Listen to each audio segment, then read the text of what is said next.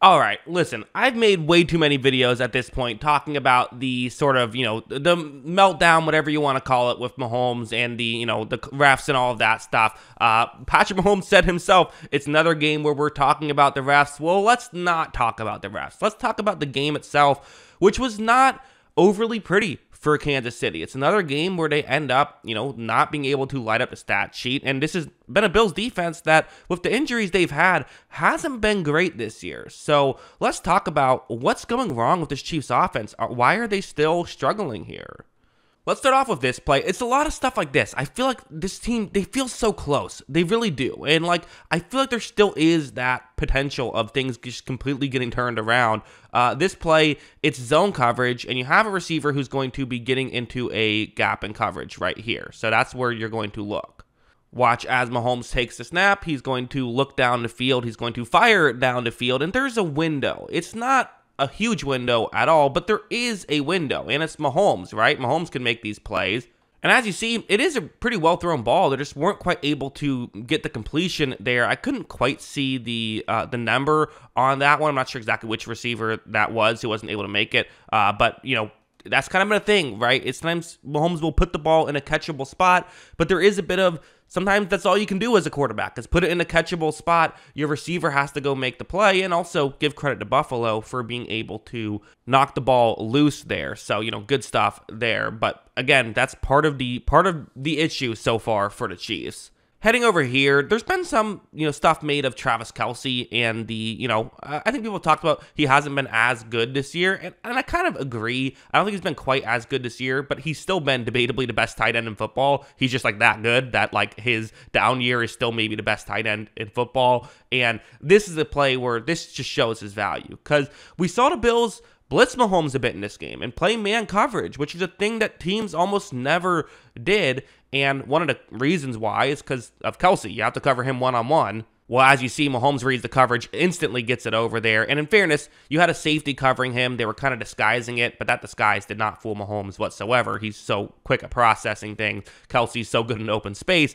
Uh, you want to make sure that you can kind of take that guy out of the, the you know, area. And quite frankly, you have to think that if the Chiefs are going to win a Super Bowl, which that's their goal, right? Win a Super Bowl. That's what they should be looking towards. Uh, every year to have Mahomes, the goal is to win a Super Bowl it's going to be with the strength of Kelce, right? I mean, he means so much to this offense. I think just right now, uh, maybe he means a bit too much to this offense. They might be a little bit more uh, complete. And I got to be honest, Mahomes, I don't think it's it's one of the things where it's like I think Mahomes has been a top five quarterback in football this year, but that's a down season for him, right? His usual season is like MVP candidate or just straight up winning the MVP. That's almost what we expect from him. Well, there's been some opportunities that he's missed uh, down the stretch here. Uh, you know, he uh, this one's a good example where it's going to be a zone coverage play on this one. It's Rashee Rice, who's actually been a good player. Again, one thing they just need to do more, I think, is I mean, he should be out there a ton. Like he should be like their number one receiver at this point, with Kelce being the number one option as at the tight end position.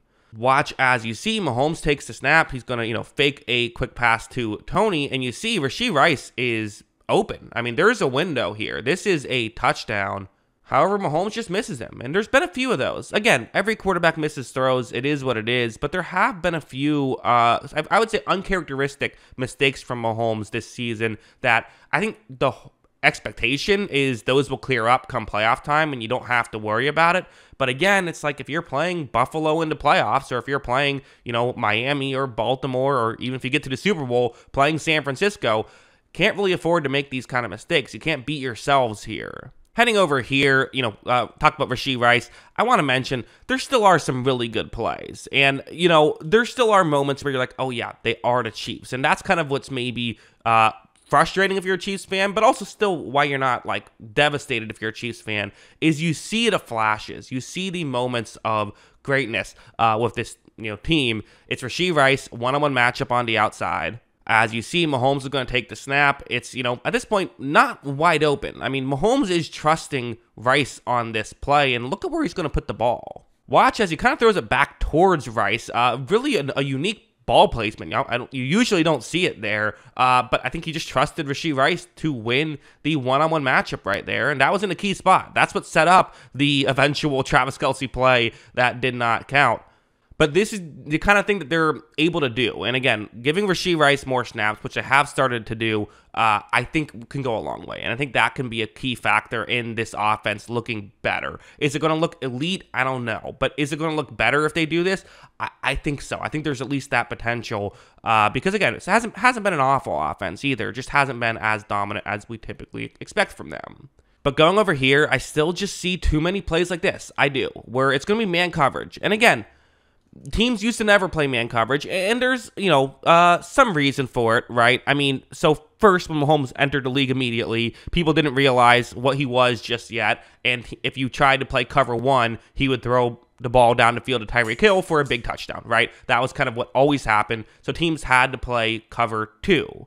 So then you would either play cover two zone or cover two man, or maybe like quarters coverage or something. But like those would be the main two things you would see teams do. Uh, if you played cover two zone, they would just pick you apart with kind of zone busters. And if you played cover two man, well, then it really comes down to you need a receiver to win. And in this situation, it's second and 15. You just, you had the Kadarius Toney penalty. So now everyone's lined up on sides. That's nice. Uh, you don't need to get it all back here, right? Second and 15, and you're in, uh, you know, four down territory at this point. So it's almost like a first and 15 and not the end of the world at all. However, when Mahomes takes the snap, he's going to look down the field and he's starting to scramble. And this is just something that we've seen far too much is guys can't get open here and they need players to be able to get open more consistently. And you know, it's kind of feels like you know, Mahomes look towards Kelce, kind of feels like if Kelce isn't getting open, nobody's getting open, and that's a real issue.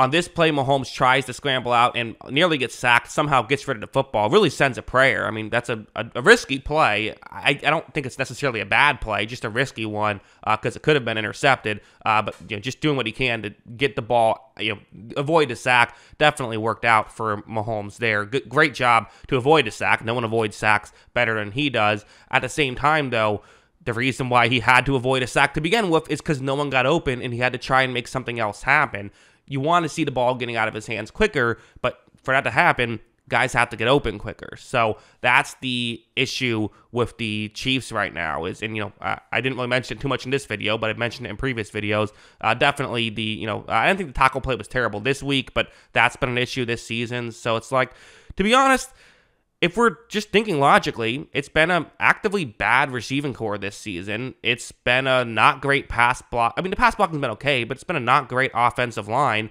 Like, it'd be crazy. It's almost impressive that the Chiefs' offense has been as good as it has been, given all of the issues right here, and it's entirely because of Mahomes.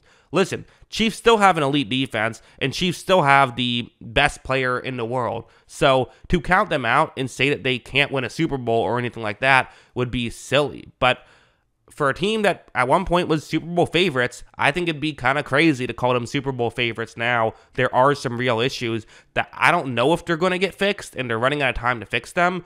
But you, you know, you can never quite count them out either. So that's kind of what I think about all of this. What do you think? Let me know in the comments below. What are your thoughts on the problems with the Kansas City Chiefs?